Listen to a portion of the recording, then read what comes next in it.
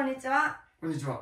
アベチザフチャンネルのみゆです。親父です。今日はですねメーカーズさんからアンバサダーをいただいたということでちょっと商品の紹介をしていきたいと思います。はい。いろいろ商品があるんだけどは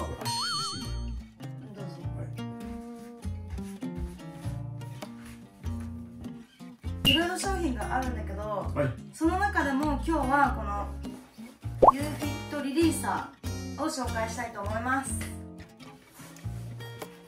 今まではね U フィットリリーサーミニっていうのを使ってたんだけどミニこれ。そう。ね。そうそう。車の中で愛用したやつ。そう。で今回はこれ。ちょっとなんか見た目でかい。見た目もおしゃれ。おしゃれなやつこれ。うん。ちゃんと取っ手もついてて持ち運びもできる感じ。うん。で結構頑丈な作りにもなってて開けてみると俺最初もらった時さなんかでかいなと思ったの。うん。めっちゃ重てんかなと思ったら、うん軽いものでびっくりした。これっすよ。これ。はい。紹介どうぞ。ほい。じゃあ今日これを紹介するんですけどまずこれ何っていう感じじゃん。知らない人からしたらね、まあ。まあ、マッサージガンっていうんだけどマッサージガンのユニットリリーサーっていうやつなんですけどそもそもマッサージガンってやつはなんで何かっていうとわかる？ガンっていうで、ん。鉄砲まあ、まあ、これはあの筋膜リリースっていうやつの、まあ、ガンバージョンなんですよ。手軽にできる感じの筋膜リリース何かわかる？筋膜リリースは俺もよくわからん。筋膜リリースはなんかね多分誰しも見たことあると思うんだけどこう筒になっとってこうボコボコボコってイボがついとるやつを筋膜リリースっていう商品なんだけどなんで筋膜リリースっていう名前かわかる？わからない。わからない。まあみんな筋肉あるんだけど筋肉の上になんか膜がね張ってんのよ筋肉って。絶対ね。膜が張っててその筋肉が膜とくっつくとあのコリとかにつながるのよ。だから膜とつながったらダメなんだってなんだけどまあねいろいろ使ったりとかして筋肉をスポーツとかにね。あのほぐさないとストレッチとかでくっついちゃうのよ。でその時に剥がすの筋膜リリースっていうローラーを使って従来はみんなほぐしてたの。よミヤもすごい使ってたしあれを使って筋肉を剥がしててで筋肉と筋膜を剥がすから筋膜リリースっていうの。それがね。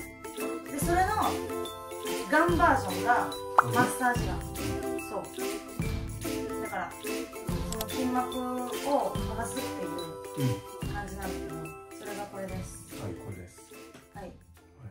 はい、じゃあこれが筋膜リリースのマッサージガンということで、うん。まず使い方をねちょっと説明していきたいと思います。ここのね裏っ側にオンとオフっていうのがあってこれ。これをオンにします。オンにするとここがパーセンテージが出るんですよ。今100%充電あるんで100%で出てます。でこの先端につけるんだけど、まあ今日ューって押さえ込みます。これで取り付けは完了でここの水色のボタンがあるんだけどこれを1回押すと振動1もう1回押すと振動2振動3振動4ってなります。でこれをその筋肉をほぐしたいところに当てる、まあ、一番オーソドックスなこのふくらはぎとかね。こうやって当ててきます。使い方は本当にこうやって簡単なんですけどちょっと注意点があってまず注意点は大きい血管が通ってるところには使用しないでください。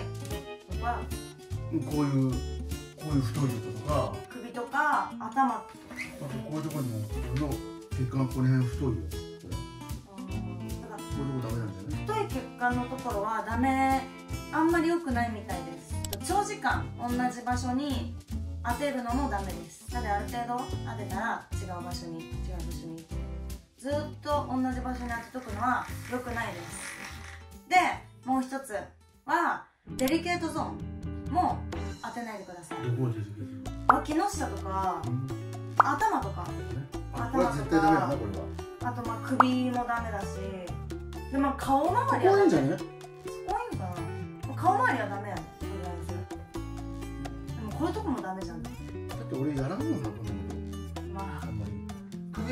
やらんな。あでもね頭はね見えない。こう気になるよ。ここら辺がさ。やらんほうがいい絶対。頭頃から。自分の手でやるんだけど。ここでしょ。そうそう実はな。そう。デリケートゾーンはやめてください。ということです。で使い方続きなんだけどなるべくあの低速で使ってください。これ一番。これ1なんだけど、まあ、1でも全然気持ちいいだけどミユは2とか3でやってます。なんかあんまり速いと筋肉がびっくりしちゃうみたいなんでなるべく低速でやってください。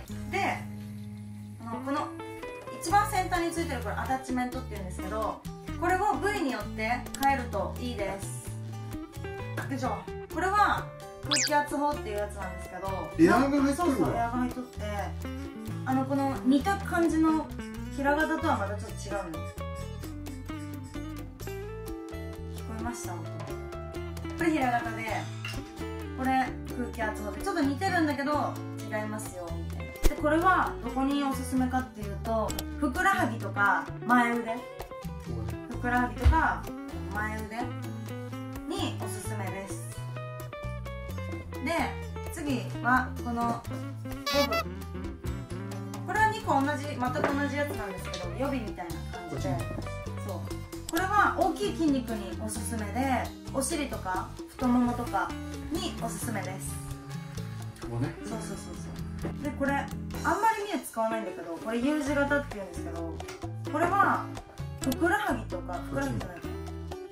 ちょっと形違う俺はねいつもこう腰にやるんだよねそう腰の背骨の外側とかアキレス腱におすすめです。で最後これなんですけどこれねこれはあの深いところまで行くんで足の裏とか手のひらがおすすめです。手のひらあんまやらんけど。あ気持ちいいでも。マジで？うんまあまあ手のひらもね使うあー気持ちいいとかはいいかもしれない。足が最高。でこれとそれの違いは何？何ですか？これさ実はみも知らんかもしれんけど種類があるんだわ。この一番上の 1234AI っていうのあるでしょ？AI だから押さえるこうやって押さえつける力によって振動が違ってくる。ん。普通だとあとこれ長押しすると自動的にこうやって速くなったり遅くなったりするでもう一個押すとこれ下の2番目になったでしょ。これがね大体波打つんだへー。でもう一個押すとこれちょっと強い。マッサージ機みたいな感じか。そうそう1万9800円と1万6800円まあどっちを買われてもいいと思うけど手軽さはこっちの方が手軽。こっちはいろんないろんな機能がつい機てる。能がついてる。あということかな空気圧法もあるし。これ結構ポイント高くない？空気圧法まあ、俺からは以上。気になる方はぜひ一つご家庭にご自身に一個いかがでしょうか？クーポンコードありますんで5%クーポンコードで5%安くなります。あと私らアンバサなんで何でも質問してください。コメント待ってます。うことで今回はこのユーピットリリーサーのご紹介の動画となりました。皆さんそれでは次回でお会いしましょう。さよなら